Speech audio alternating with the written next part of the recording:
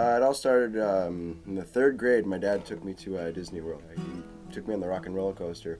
And then, you know, I was so um, fascinated by Aerosmith. And as soon as I heard it, I was like, what is this? This is, you know, fantastic music.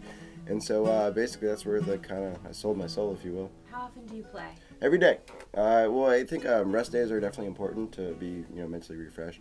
You're always learning. You know, a lot of people get content with kind of knowing what they know, and they never expand. And I think it's important to consistently learn. Where do you get your inspiration? Life, life. Um, I find it very boring to uh, stay stagnant, stay in the same place, and stay complacent. Um, I find it important to let inspiration find you instead of trying to find it, because then you're almost forcing something that isn't there.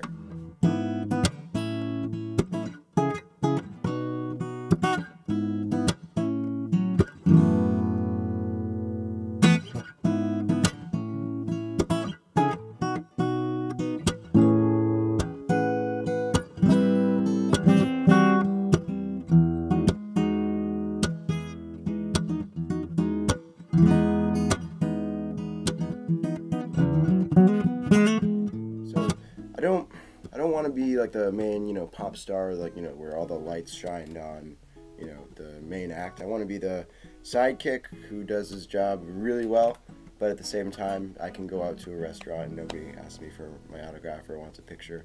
And basically yeah, so I want all the you know the benefits of the music lifestyle without the fame.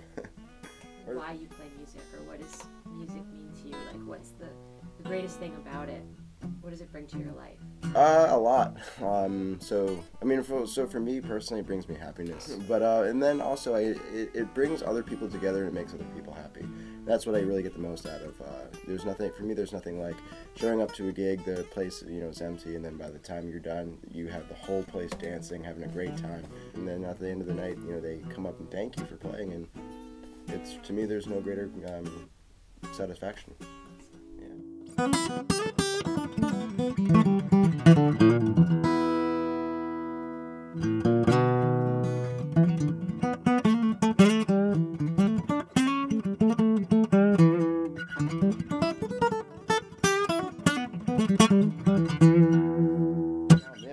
Like this. Uh, I like I like this little box. It uh, makes everything very woody, transparent, and natural. It's uh, it's different than a pickup, which is just kind of trying to. Um...